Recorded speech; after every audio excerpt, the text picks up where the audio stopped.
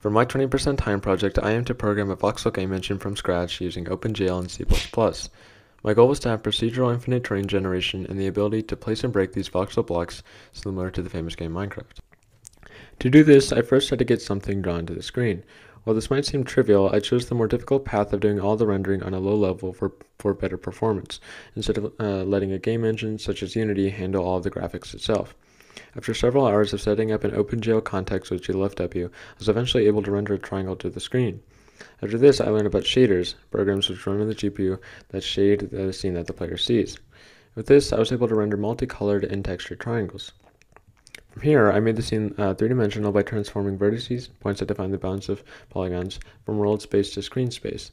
This was done by multiplying the 3D positions of the vertices by the model, view, and projection matrices, calculated from the camera's three orthogonal directional vectors and its position. But there's one clear problem. The cube looks horribly unrealistic due to the lack of realistic lighting. To solve this issue, the following lighting model combines ambient, diffuse, and specular lighting for a more true-to-life result. It also allows for customizable materials, directional and point light sources, and lighting maps.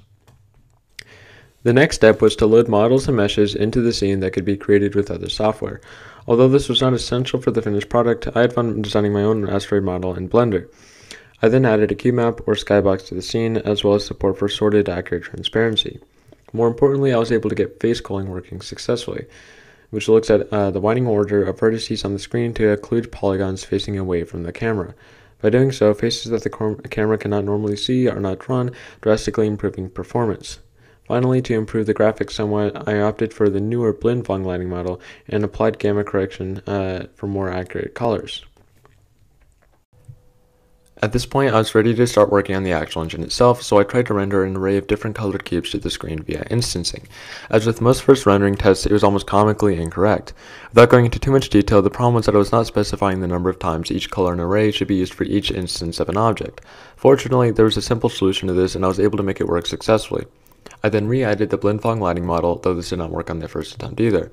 A GUI, ImGui in this case, was implemented to make the customization of these blocks and light sources easier. However, there was a major issue with the way I was currently storing the positions of the, uh, uh, the positions and data of the blocks. I was simply keeping the models of the blocks and their corresponding colors in an array, which was uploaded to the GPU every frame. If you've ever played Minecraft, you might know that the game splits up its world into chunks, 16 by 16 by 256 volumes of blocks that extend out to the world borders in the positive and negative x and z directions, but are limited in height. I decided to make my chunks 32 blocks across in each direction and tessellate space in all three dimensions, not just x and z. This potentially allows for structures and terrain that are infinite in width, length, and height, as can be seen by these chunk borders. This is where I ran into my first challenge, storing the chunks. My first idea consisted of a, of a dynamic 3D array which expanded and rearranged pointers to the chunks as the bounds of the chunks grew. An array such as this, where elements need to be persistently inserted into the array, calls for lots of shifting of data around internally, though, which is not great for performance. I learned this a difficult way after realizing that the program would freeze for hundreds of milliseconds when the array of chunks became sufficiently large enough. I found that the best solution was to use an unordered map which organizes key value pairs of the chunks and their positions into buckets internally, potentially having O1 access time. With this in mind, I started working on the algorithm to generate meshes or collections of primitives composed of vertices for each chunk. This algorithm loops for every block in a chunk and adds a face for each face on a block uh, to the mesh's vertex buffer object if the face is unobscured by another opaque block. As can be seen by this wireframe mesh, the faces on the inside of the blocks are not being rendered, nor should they normally be seen by the camera, as are the back-facing faces. Again, the first tests were quite glitchy, but after fixing a number of bugs, there could be multiple chunks. With this engine working, I could finally begin creating a game of sorts. To start off, I wrote my own Perlin noise function that could procedurally generate realistic and natural terrain with multiple octaves layered on top of each other. Here is my first attempt at infinite terrain. Obviously, there were some issues with it that needed to be fixed, one of which being the way that the computer generated the terrain. The problem was that it was rendering the scene and loading the chunks both on the main thread, leading to lag spikes uh, whenever chunks were created. To solve this, I had to create the data on a separate thread and load it in every frame on the main thread to improve performance. The next feature I was particularly excited about, which was transparent voxels. To implement this, all I had to do was add all the transparent vertices at the end of the buffer object so the transparent faces would be rendered after the opaque ones. This allowed me to incorporate translucent, translucent aqua-colored water into my terrain generation. As some last minute features, I added collision detection and the ability to place or break blocks where the player is looking. That being said, Here's the finished result.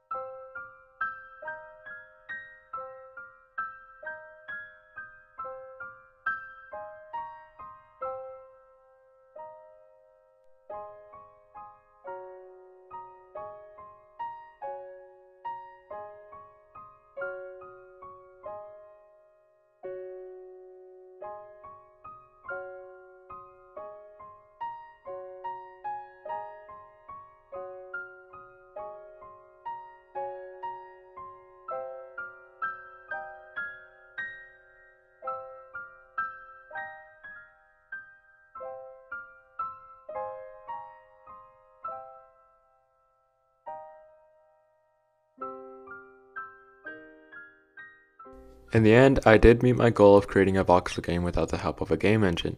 Overall, I'm thankful that I devoted 20% of my class time to a topic I found to be both intriguing and a learning experience.